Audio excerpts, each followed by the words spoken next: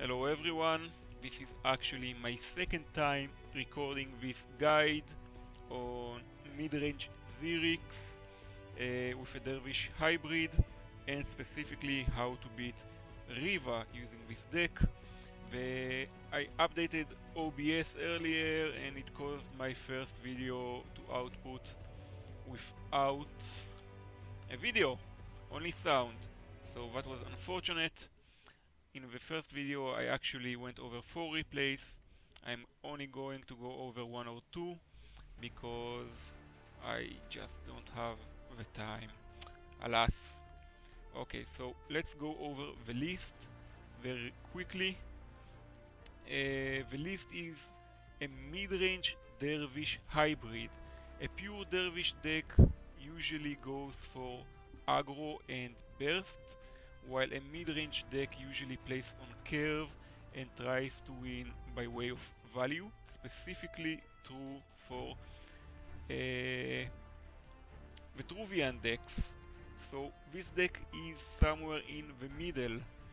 Uh, if, if I would have to say most games in the current metagame of Duelyst are won either by turn 3, by which I mean even if the game lasts for 6 more turns or rounds, you know who's going to win by looking at the board on turn 6. The other way to win, which many of the actual mid-range decks do aim for, is by out-of-hand burst. Like a good example for this would be mid-range Magmar, which actually does play on curve and has a lot of value plays, but by way of thumping wave and rush minions, and yes, bounded life force actually has out of hand burst to win the game. So this list actually aims to do the same. It aims to control the board early, swamp the opponent, sometimes win by way of burst, but also it has late game. So when you only get to when your hand uh, size gets low, you play one card per turn, it actually can still win the game. So specifically many people are having problems against Reva because like you get to the board. If you are experienced with the game usually by turn 3 you can tell who's going to win. But this is never the case with Reva supposedly. So people feel cheated when they have a board but they still lose. So I'm going to discuss how this deck in particular beats Reva but it is also the method in which this deck beats others and how Kara beats Reva. So I hope this will help you. I will post a more detailed guide on the list in text form and I will also post the list in an image that people could look at but let's go over it quickly. Siphon Energy, this is actually necessary because it is your only uh, rear line answer. It is also the only removal in the deck so you have to weigh whether to use it or not very very carefully if you were to replace Siphon Energy for say Ephemeral Shroud you are going to have to include Rasha's Curse, Pyromancer or some other form of rear line answer. Oh yes, before uh, I almost forgot, what this is a zoo deck, not an aggro deck. Often the difference between zoo and aggro is not in list construction, but in how you play them. Zoo, whereas aggro uses a lot of cheap minions in order to go face and keep uh, going face and replenish their minions as the opponent has to remove them using their health. Zoo seeks to use their minions to gain board control. You use your minions to take out the opponents and gain incremental control of the board until you can your opponent has nothing to do and you kill them. So let's go over the list. Dunecasters, Everil Obelisks, Pax, two Primus Fists which could be switched out for something else. These used to be Pyromancers, but the fact that playing Pyromancer after turn 1 is questionable and people are playing Bloodtear Alchemist and Scorns again makes this eh. Whispers of the Sun is your main method of burst. It is still useful late game because if, say, at 9 mana you replace into Whispers, you can just cast it for cycle. Inner Oasis is actually makes every 2-2 you play from takes it from being able to only deal 2 face damage to the enemy general into 6 because it can swing 3 times. Allomancer can be switched out and if you don't own it I would recommend Primus Shieldmaster over it. The Provoke is much better than the than uh, the Oltas because the Oltas like I take a 3-6 over a 5-3 in general and the Oltas can be played around more easily because of a 3 HP breakpoint. Free Krons actually play well into the zoo mentality, especially with Inner Oasis. Nimbus and Starfire Scarab might confuse some people, especially seeing as they're one-off, but together they are a two-off. Uh, I replace them in most matchups. Nimbus is mostly there against battle pets. If they happen to play battle pet and you can play Nimbus, you play it. It is almost an instant win against Cassyva if you draw it early enough. Starfire Scarab is against is for games where your line of obelisks control the middle of the board and they hide in the corner and it just allows you to generate value because and actually if you look at it every single card at the five at the four drop and above and even at the three point and above is mostly here to generate value over multiple turns and Aymara Healer because it's just this strong. I do want to go over a couple of other lists that you can play. If you want to go like this was how what the list looked like originally. You can see the pyromancers. And you can see Zen'Rui, only one Kron I'm actually like increasing Zen'Rui, this meta might not be the best for Zen'Rui but this list is very focused on tempo swings. Lists actually usually are, they're tempo decks like most tempo decks are mo most zoo and tempo decks uh, are like variations of one another. It's, it just depends on the curve. So while this generates less value, the tempo swings of Zen'Rui can win the game outright.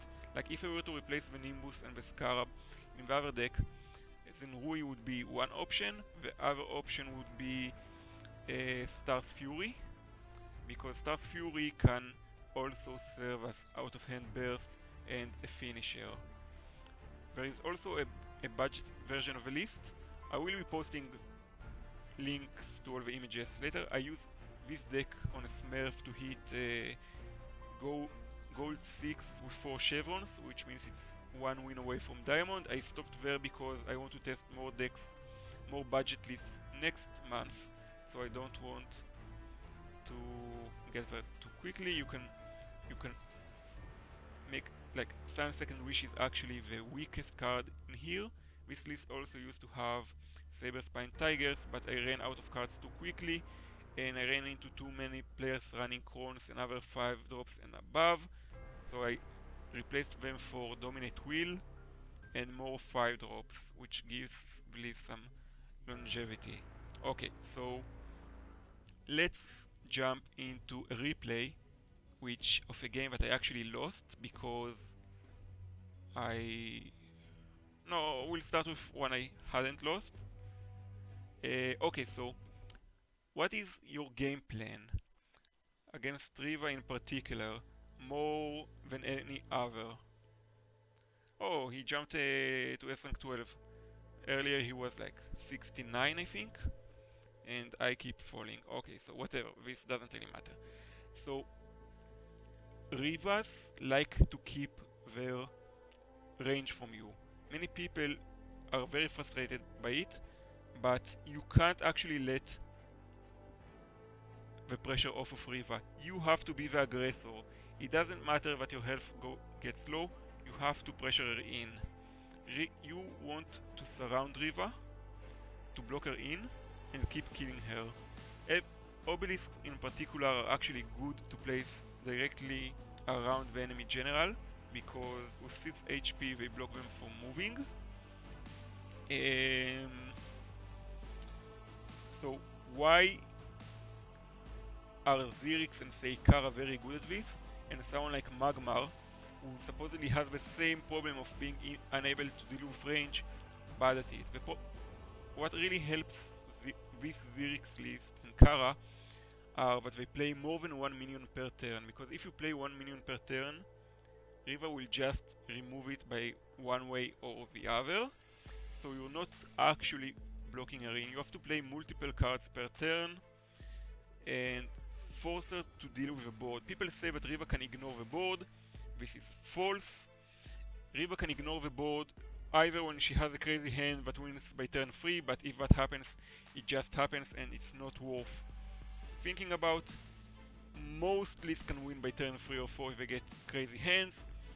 Don't think about it, it rarely happens, it just sticks in your mind, I know, but don't dwell on it, really, people. But uh, Reva, if you let Reva ignore the board, that's a mistake.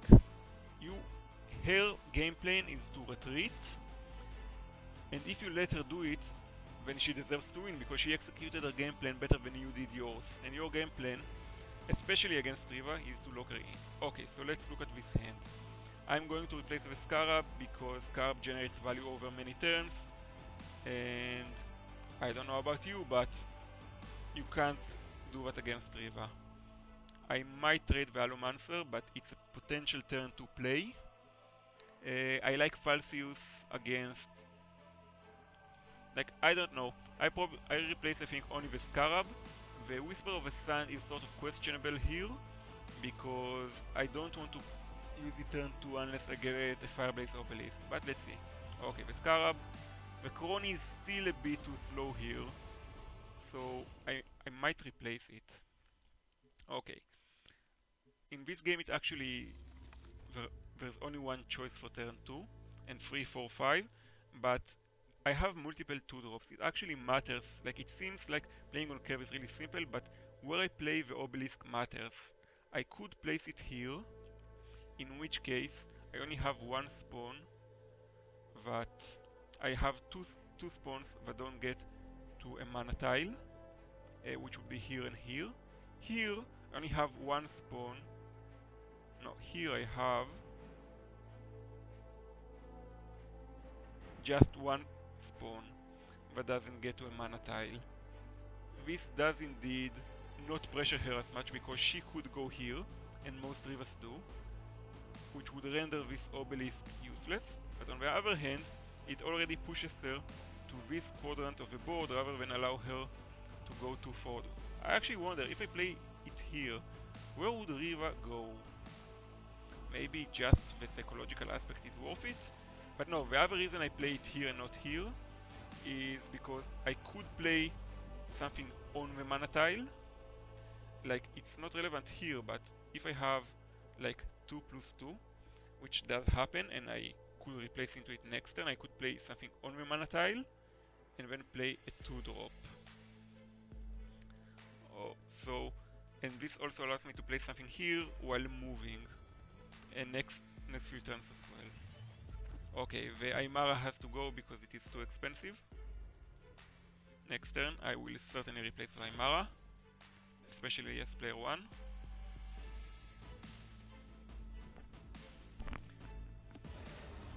This is a bit of a greedy play because but he sort of has to do it okay like see now here I have a choice I could play the Fireblaze Obelisk and Whispers of the Sands and hope for a good spawn to kill the Chakri but it is a bit of a gamble moreover Allomancer when he dies will give me another one I obviously take this mana tile because he could walk on it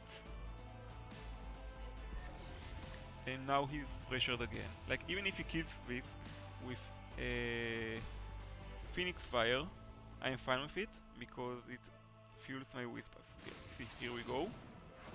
He probably doesn't have another 2 drop because that's not how they play. At this point, if I get a, a good spawn, I might play the Kron but probably not because it would be easily killed by these things. I would probably prefer to play an obelisk here or even further, depends on where this dervish spawns, and hope to kill it. But it's a bit of a gamble, like there are no exactly good plans here. Yeah, like I don't have 5 mana, so it doesn't matter.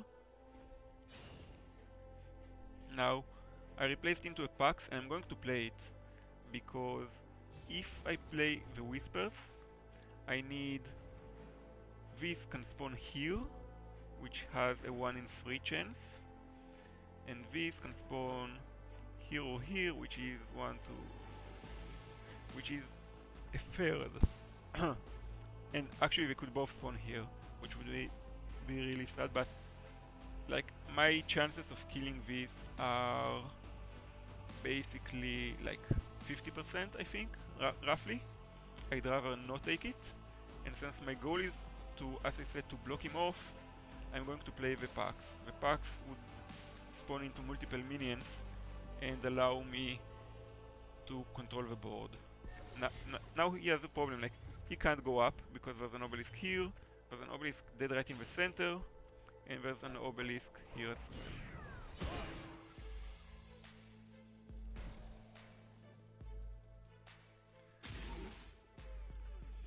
So now he replenishes his hand. This is a bit scary for me because he has he's going to finish this turn with 6 cards in hand and 6 mana next turn which allows for a lot of damage. I'm obviously going to be able to kill it.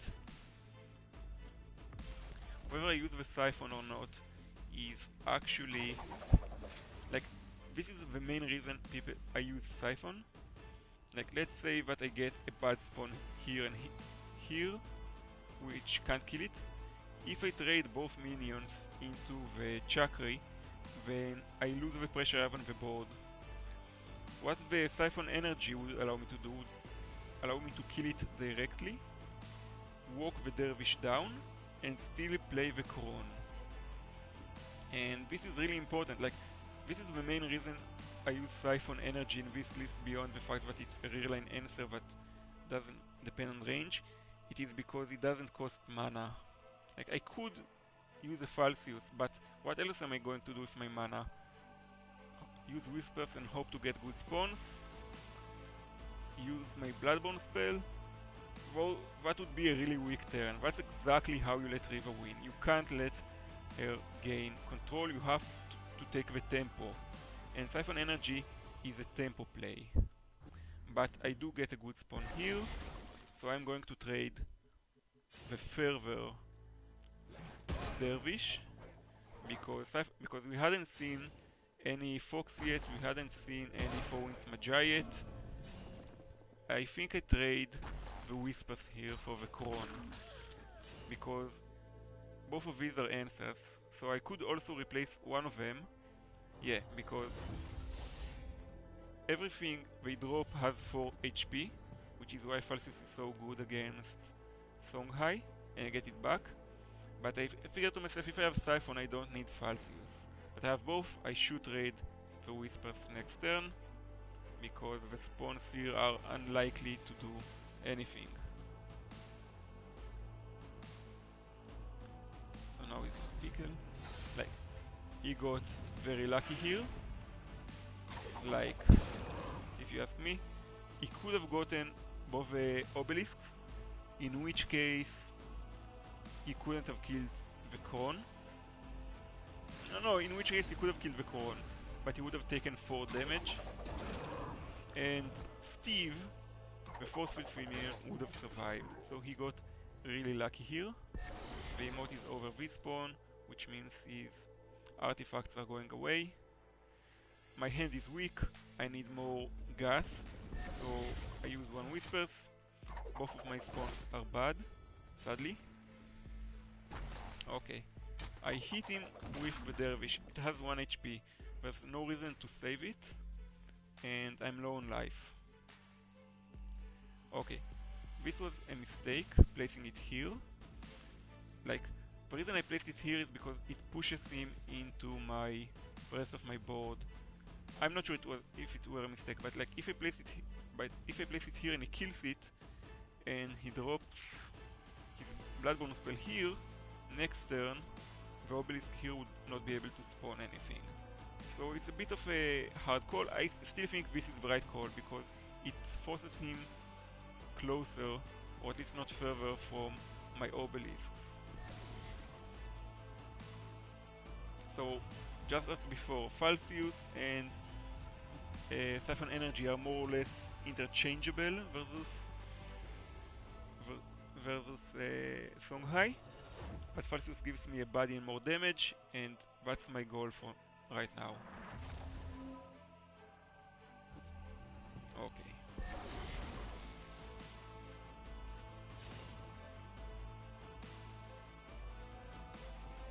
Like, I could push for damage here, but I, as I said, I'm Zoo. My goal is to remove his minions while developing my board.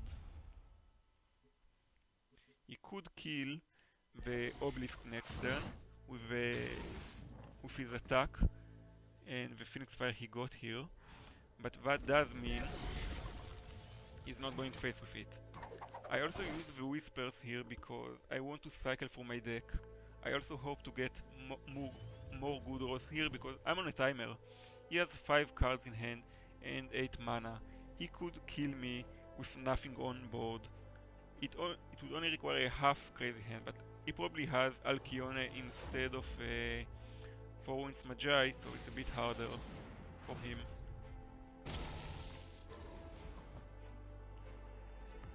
You see, now here he doesn't have to kill it this turn because it can't spawn a minion. Thankfully for me I have this Whispers here.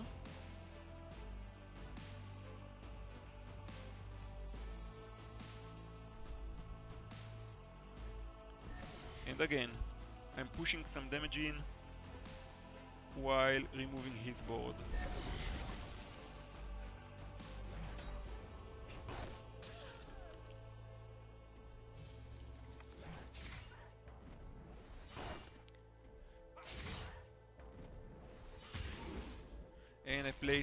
The Obelisk here, which blocks him in and guarantees to spawn, like no matter where it spawns, he'll, it will be able to reach him.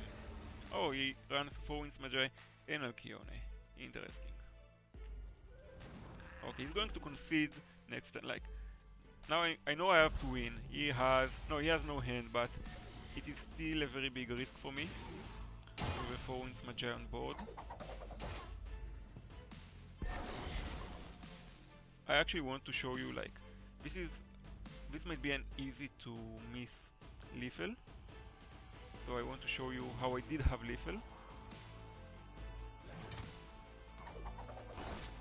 I'll just stop it. Okay so this is going to go to being a 6-4 it's going to hit him and be a 6-1 so how do I get the final damage in? The Falcius will hit the Battle Panddo, which will trigger and kill the 1 HP Wind Dervish, and then my general goes down and attacks her for the win. It's actually an easy to miss lethal in an actual game.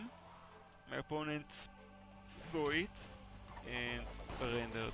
But I want to, this is important, like, look, this is where the game ended. In a quadrant, with Reva being unable to move outside of it for several turns and me beating up on her. I am going to show one more replay.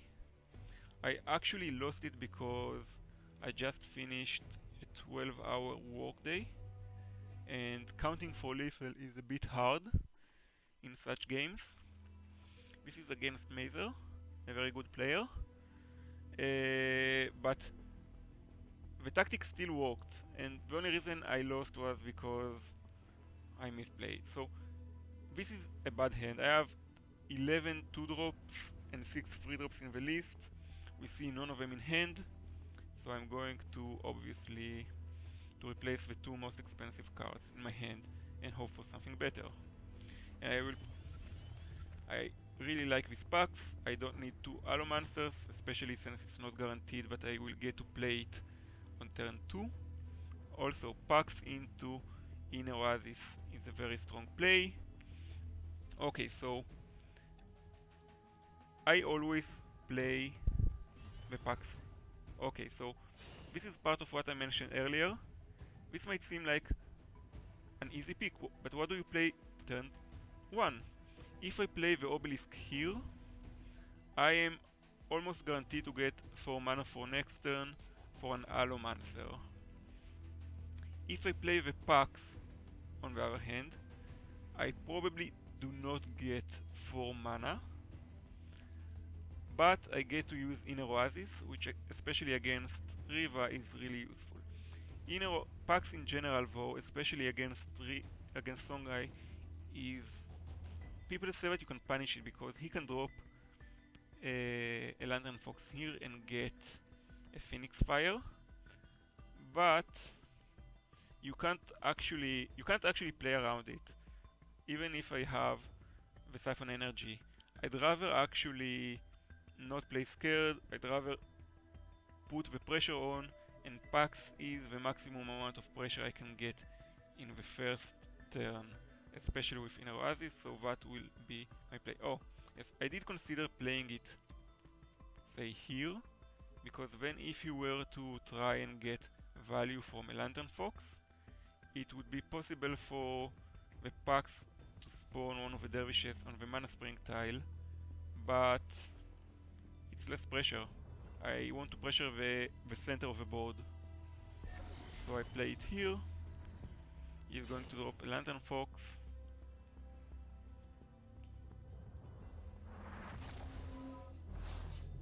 Okay, now I'm a bit scared because he's going to have right now it looks like two extra Phoenix Fires in hand and a Bloodrage Mask. It means that next turn he can hit me for 8 more damage, that's a lot.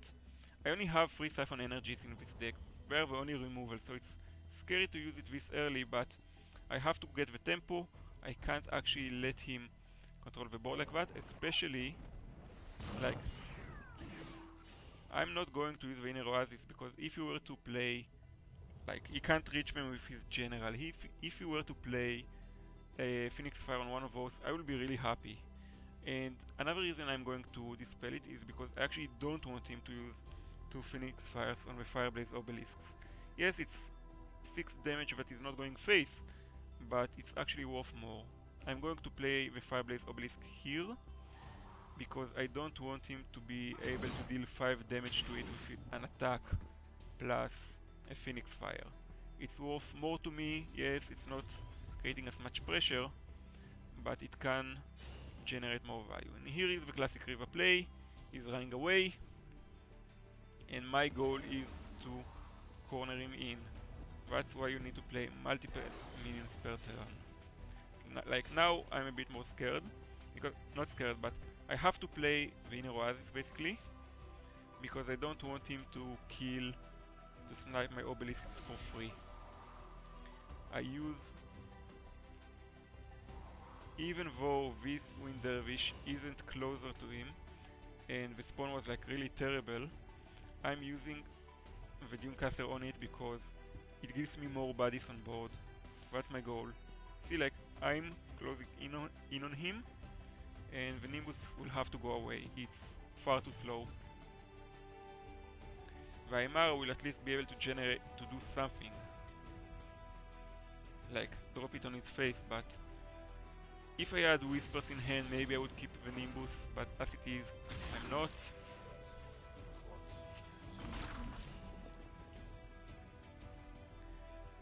He can't actually play it safe for my general, the second Ki Beholder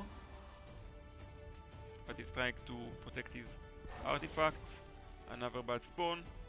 See, you can win with bad spawns and without a crazy burst early. Like, my hand was, wasn't a strong early hand game. But my goal here, you see, is to block him in.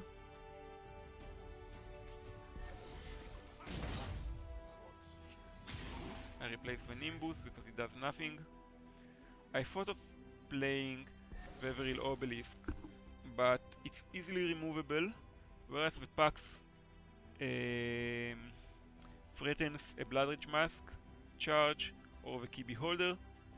I'm not sure playing it here was the right call though because if you were to drop his BBS here no, like if you were to move his key beholder here for instance and drop his BBS here the Pax would not spawn anything so this was a mistake, but I'm not sure where I would have placed it because any other place the pack spawns could block one of my dervishes from blocking her in, but it's not actually going to matter because Mazer is going to move.